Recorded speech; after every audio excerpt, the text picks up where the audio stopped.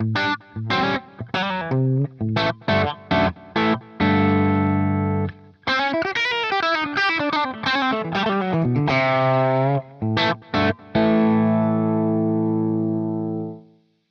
up kids? I am trying something different just to see if you guys are into it or not into it. But what I thought I would do is, is set up a little bit differently and instead of actually doing like a full-on demo of a product or even a quick listen, uh, do more of kind of my impressions uh, of uh, say an overdrive pedal delay, whatever it ends up being. Um, just to give you an idea of, of how I tend to approach uh, demoing a pedal from the beginning, how I discover it. Um, and in this case, uh, Danelectro sent me a pedal called The Breakdown to check out. And from what I can gather, um, it seems like it's it's kind of a, a, a, treble booster or maybe even like a six position uh, Rangemaster style pedal, which was really popular, uh, especially in the 70s on the Zepp stuff and things like that. So I thought, well, why don't I go ahead and you know set this guy up and just kind of uh, discover it a little bit and uh, see what you guys think. So in this case, because I know that this is going to be more of like a treble booster style pedal, I don't think it's going to be that great or as good through a clean amp. So my inclination is to start with a slightly dirty tone. And what you're hearing is my REVV D20, um, and I've got it set to break up a little bit. The IR that you're hearing is a, uh, it's a REVV IR. I believe it's a, a 4x12 cabinet, kind of a Royer 57 type of mic model. And that seems to make sense with a pedal like this. It's got six positions, and from what I can gather, it's going to go from uh, kind of tame, maybe just adding a little bit of mid bark. It seems like it adds more low end and gain as you click through the positions and uh, we'll mess with this volume control too because I have a feeling that's going to have a little bit of effect on the type of gain that you're getting out of the pedal. I'm using my uh, PRS DGT. I love this guitar. So yeah, let's just turn it on, first position, and see what we get. So is it boosting? Okay, so right now I've got it so it's bumping just a little bit above what would be considered unity gain. So it's not adding a lot of gain, but I'm hearing like a mid bark there.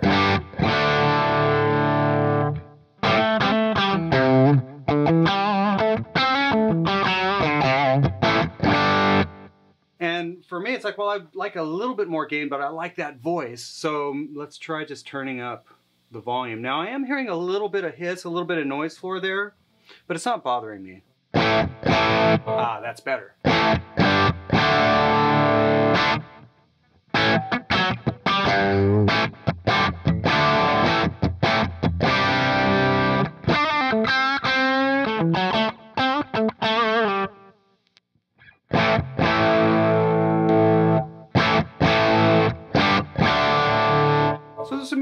There. There's definitely uh, uh, low end happening. Let's go to the next position and see what happens.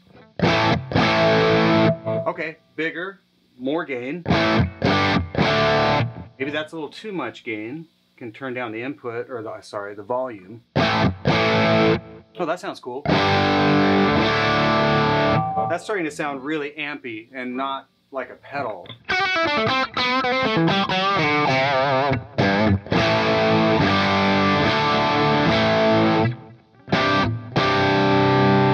And yes, these are the only chords I know. Okay, next let's try three without touching anything.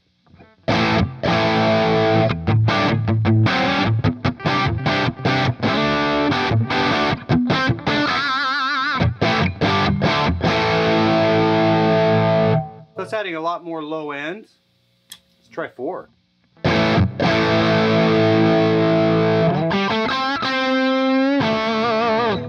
More gain, more low end. See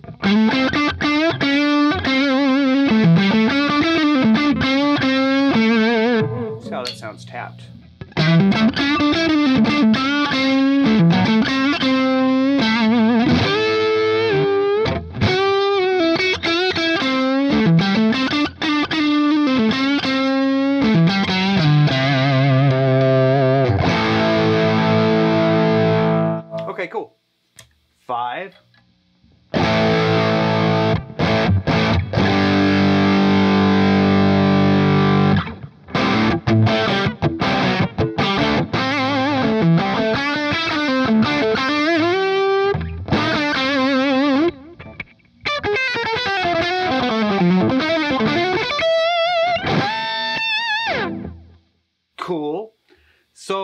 I tend to just naturally go into solo mode as opposed to rhythm guitar mode because that's a little too much low end for a track. But if I'm just going to take a solo,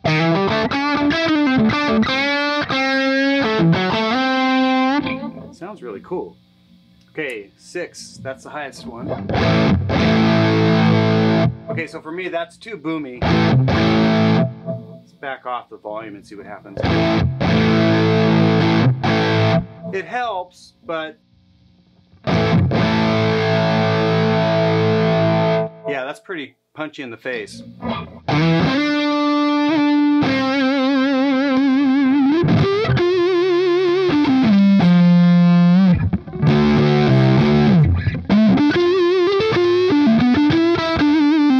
I just clipped it.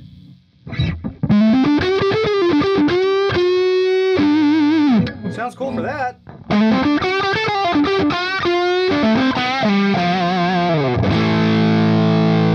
So I think this pedal's really, actually, I'm impressed with it.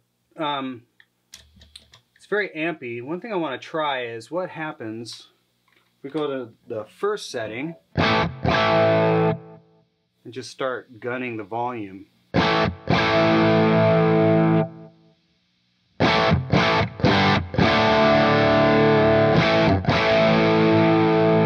See, I really like that approach. Um, that's how I would recommend using this pedal, but it depends on what kind of amp you're using. Uh, actually, let me do this really quick. I'm going to see if I can get a little bit cleaner on the D20.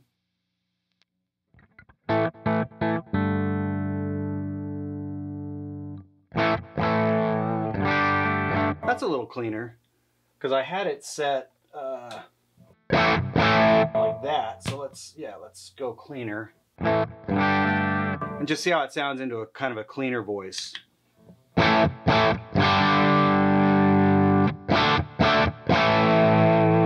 It sounds good. But I, I definitely think, and, and as it should, because there's nothing wrong with this, uh, it definitely likes uh, higher gain amps. So for the heck of it, I don't know how my Friedman's set, but it is on. I'm going to hit uh, 5, I believe, on my amp switcher. And what's my Friedman doing? This is a Dirty Shirley, the, the 40 watt.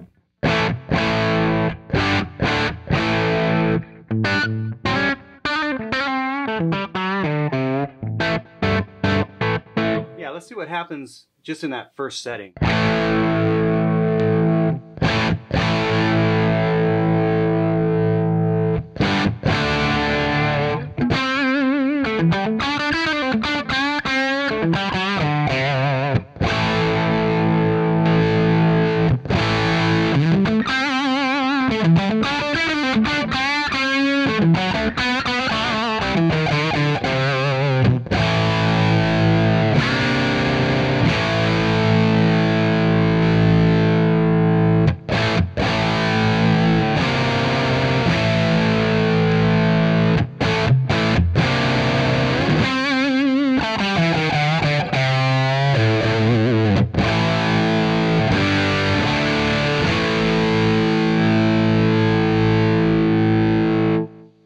Yeah, I think this pedal uh, definitely shines with amps that have a little bit of grit on them, just maybe a little bit of breakup to uh, something like what I've got going with the Friedman. I don't know that it would be good on a high gain setting just because it does add low end. So guys that are wanting to kind of push the front end of their amplifier set high gain, I have a feeling this would bump too much low end. It would, uh, if it was just mid-centric, it would probably uh, work really well. But overall, I'm very impressed with how this pedal sounds. It, it sounds really ampy.